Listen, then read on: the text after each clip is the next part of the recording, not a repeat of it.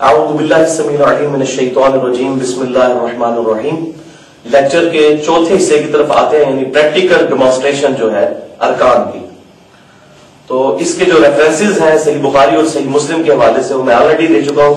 صرف physical demonstration کروں گا کہ ہمیں ارکان نماز میں کس طریقے سے ہاتھوں کو اٹھانا ہے اور باندھنا ہے۔ تو سب سے ضروری چیز یہ ہے کہ قبلہ روح ہونا چاہیے اور اپنے پاؤں، اپنے جسم کے مطابق کھولیں۔ یعنی اگر اپنے شولڈر سے ہم ایک پرپینڈیکولر ڈرا کریں، تو ہماری جو ایڑیاں ہیں، ان کے اوپر جا کر گرنا چاہیے۔ جتنا دو شولڈرز کے درمیانی فاصلہ ہے، اتنا دو ایڑیوں کا فاصلہ ہونا چاہیے۔ تو یہ تقریباً کیلکولیشن کرنے سے ایک نارمل آدمی کا دس انچ تک بنتا ہے۔ اگر کوئی زیادہ موٹا آدمی ہے تو وہ بارہ انچ تک بھی کر سکتا ہے۔ لیکن دس انچ تقریباً ایک بارش کے قریب ضرورت ہوتی ہے۔ اور پاؤں کے پنجے قبلہ رخ ہونے چاہیے، شلوار ٹخنوں سے اوپر ہونی چاہیے۔ اس کے بعد قبلہ رخ جو ہے متوجہ ہو کر تو نماز کی نیت دل میں کرنی ہے، اس وقت نماز کو حاضر کرنا ہے کہ کون سی نماز پڑھنے جا رہا ہوں۔ زبان سے نیت کرنا ضروری نہیں ہے، بلکہ یہ خلاف سنت ہے۔ تو اللہ اکبر کہہ کر ہاتھ کو بلند کرنا ہے۔ اللہ اکبر۔ تو تھوڑی دیر کے لیے ہاتھوں کو یہاں کھڑا رکھنا ہے۔ جو میں نے بتایا تھا کہ بخاری اور مسلم میں آتا ہے کہ کندھوں تک ہاتھ اٹھاتے تھے اور صحیح مسلم کی روایت میں کانوں تک اٹھاتے تھے۔ تو وہ یہ ہے کہ کانوں کے مقابل آ جاتے تھے یعنی پیرل تو اس وقت انگلیاں کانوں کے پیرل ہیں اور ہتھیلیاں شولڈر کے پیرل ہیں۔ تو نہ یہ ایسے رفائی دین کرنا ہے اور نہ یہ اس طرح کا رفائی دین یہ اس طریقے سے اس کونی کو پیوٹ مانتے ہوئے، اگر اس کو نارمل انداز میں ہاتھ کو اٹھایا جائے ایسے، تو جس جگہ پر پہنچتا ہے وہ خود بخود اگر سائڈ سے دیکھیں تو یہ کانوں کے برابر اور ہتھیلیاں جو ہے وہ کندھوں کے برابر آ جاتی ہیں۔ اس کے بعد اللہ اوپر جب کیا، اس کے بعد دائیں ہاتھ کے اوپر بائیں ہاتھ کے اوپر دائیں ہاتھ کو باندھنا ہے، بائیں ہاتھ کی زیرہ پر اس طریقے سے۔ اور اس میں یہ بھی خیال رکھنا ہے کہ یہ بعض لوگ اس طرح ہاتھ باندھتے ہیں۔ بعض لوگ جو ہے وہ ایسے بعض لوگوں کو دیکھا، بعض ایسے باندھتے ہیں، یہ سارے طریقے غلط ہیں۔ دایا ہاتھ بائی زیرہ پر آنا چاہیے۔ وہ میں نے پوری ڈیفینیشن اپنے تھیوری والے پورشن میں بتا دی ہے آلریڈی تو اس طریقے سے ہاتھ باندھنے ہیں۔ اس کے بعد جو کچھ پڑھنا ہے اس کے بعد پھر جب رکوع میں جانے کا ارادہ کرنا ہے، تو پھر اللہ اکبر تھوڑی دیر کے لیے ہاتھوں کو یوں رکھنا ہے اور پھر رکوع میں جانا ہے۔ اور رکوع میں پوزیشن کیا ہونی چاہیے؟ کہ نبی صلی اللہ علیہ وآلہ وسلم بڑی مضبوطی کے ساتھ اپنے دونوں گھٹنوں کو پکڑ لیتے تھے۔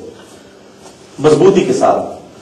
اور آپ صلی اللہ علیہ وسلم کی یہ دونوں جو بازویں تھیں، یہ بالکل آپ صلی اللہ علیہ وسلم سیدھی تان لیتے، جس کی وجہ سے کمر بالکل سیدھی ہو جاتی تھی۔ اس حالت میں رکوع کی تسبیحات پڑھنی ہے۔ پھر یہاں سے جب سر اٹھانا ہے تو پڑھنا ہے سمیع اللہ لمن حمیدہ۔ اور یہاں پر ہاتھ لا کر پھر اللہ ربنا ولک الحمد۔ اور جتنی دعائیں ہیں وہ انشاءاللہ نیکسٹ ٹائم میں میں بتاؤں گا کون کون سی دعائیں ہیں۔ فی الحال صرف پوسچر بتا رہا ہوں کہ پوزیشن کیا کیا رکھنی ہے۔ اس کے بعد اللہ اکبر کہتے ہوئے سجدے کی طرف جانا ہے۔ تو سجدے کی طرف جاتے ہوئے پہلے ہاتھوں کو لگانا ہے، اس کے بعد گھٹنوں کو۔ وہ اس کا ریفرنس بھی میں نے بتا دیا۔ اللہ اکبر۔ یہ دونوں ہاتھ رکھے دونوں ہاتھوں کے درمیان سر آنا چاہیے۔ اور بالکل جس طرح رفل ہدایت کرتے وقت انگلیاں کانوں کی سیدھ میں آئی تھی اس وقت بھی انگلیاں کانوں کی سیدھ میں اور ہتھیلیاں جو ہیں وہ کندھے کی سیدھ میں آئیں گی۔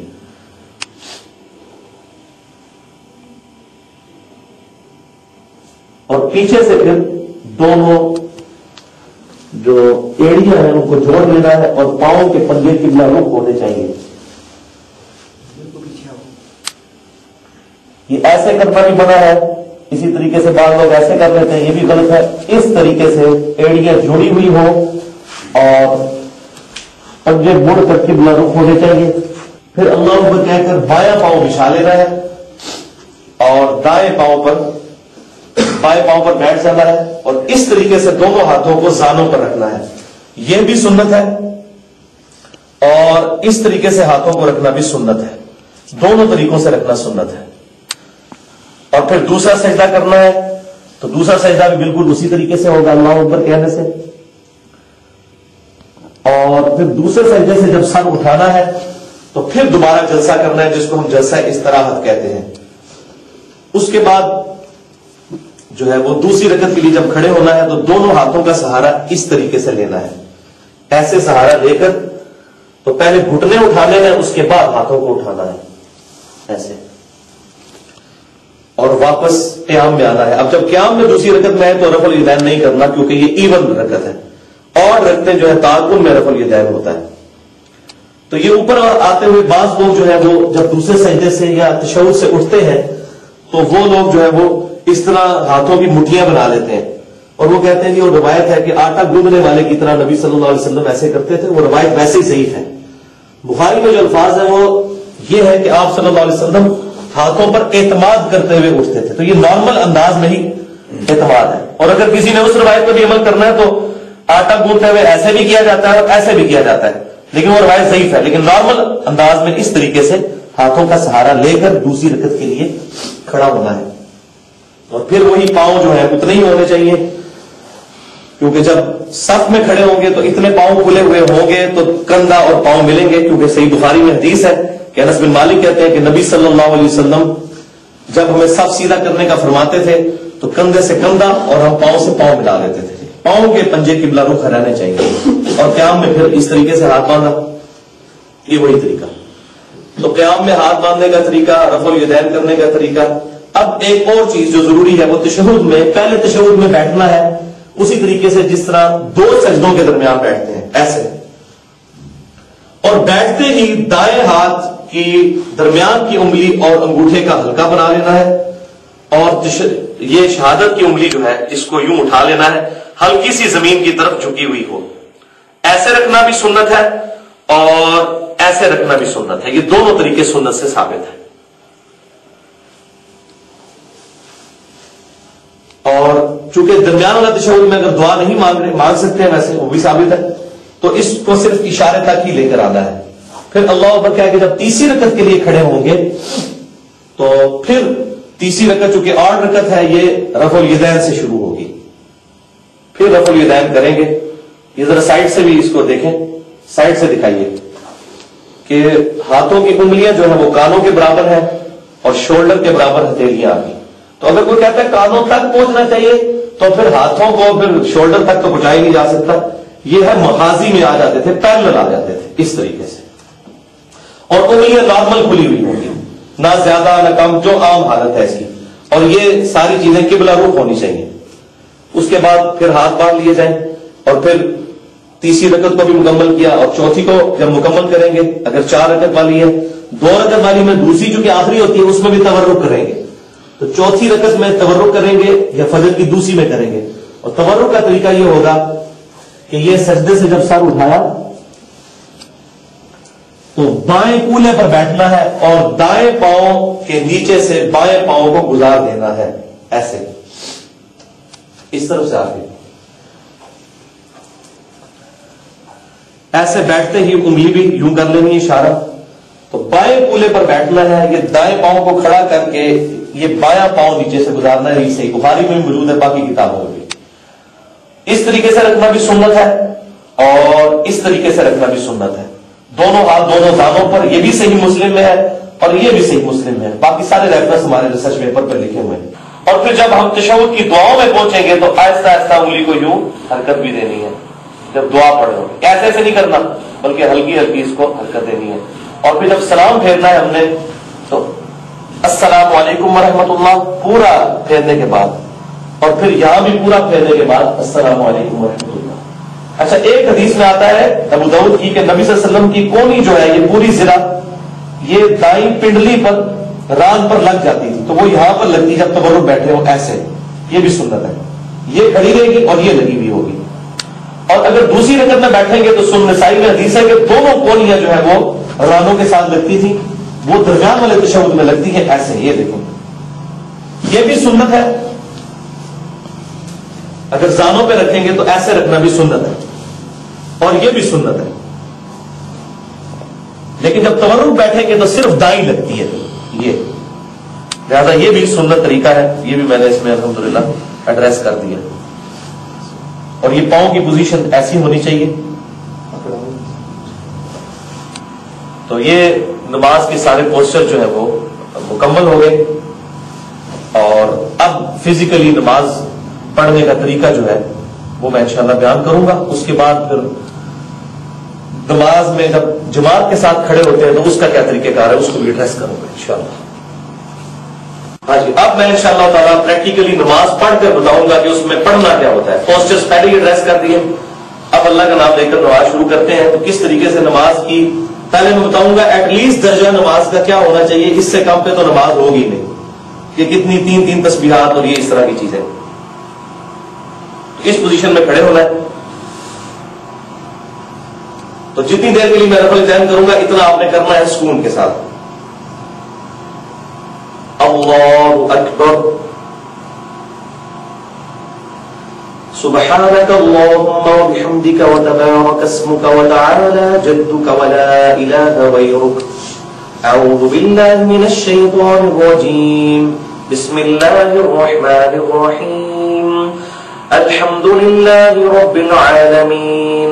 الرحمن الرحيم. مالك يوم الدين. إياك نعبد وإياك نستعين. اهدنا الصراط المستقيم. صراط الذين أنعمت عليهم غير المغضوب عليهم ولا الضالين. آمين. بسم الله الرحمن الرحيم.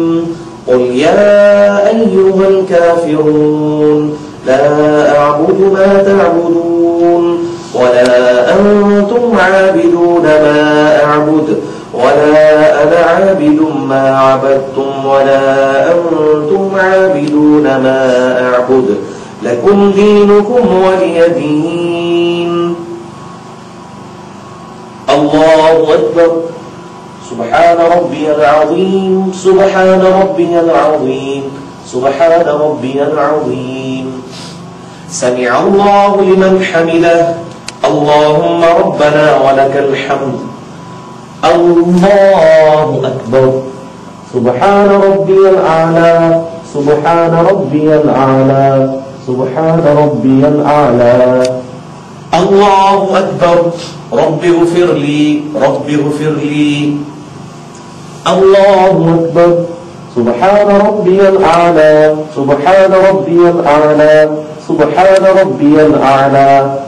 الله أكبر.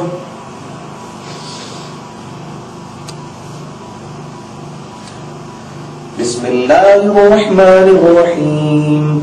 الحمد لله رب العالمين. الرحمن الرحيم. مالك يوم الدين. إياك نعبد وإياك نستعين. اهدنا الصراط المستقيم. صراط الذين أنعمت عليهم غير المغضوب عليهم ولا الضالين. آمين.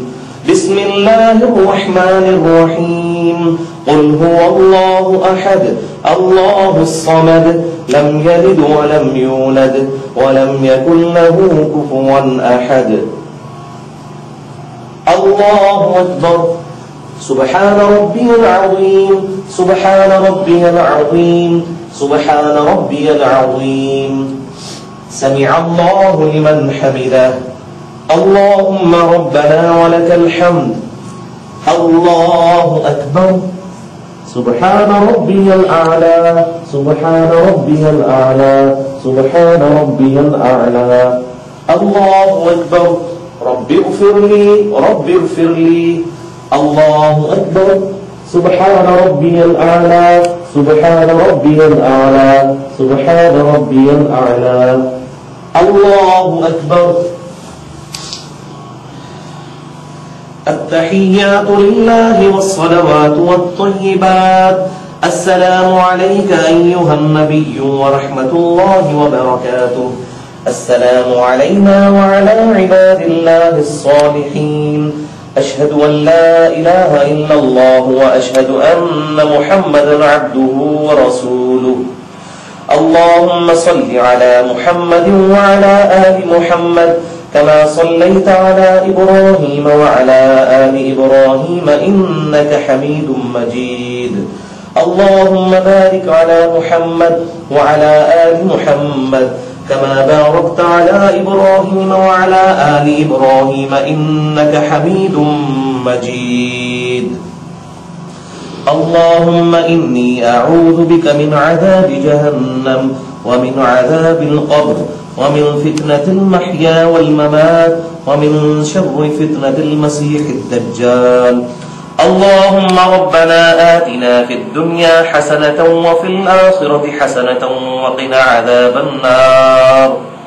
لا إله إلا أنت سبحانك إني كنت من الظالمين. السلام عليكم ورحمة الله. السلام عليكم ورحمة الله. الله. تو یہ طریقہ تھا دو رکتوں کا۔ چار رکھتے ہوں گی تو چار رکھتوں کے بعد تبرک بیٹھنا اور درمیان والی تشہد جو ہے وہ ابدو اور رسولو تک بھی اور پوری بھی پڑھ سکتے ہیں۔ تو یہ طریقہ کار ہو گیا۔ کم از کم جو نماز قابل قبول ہے۔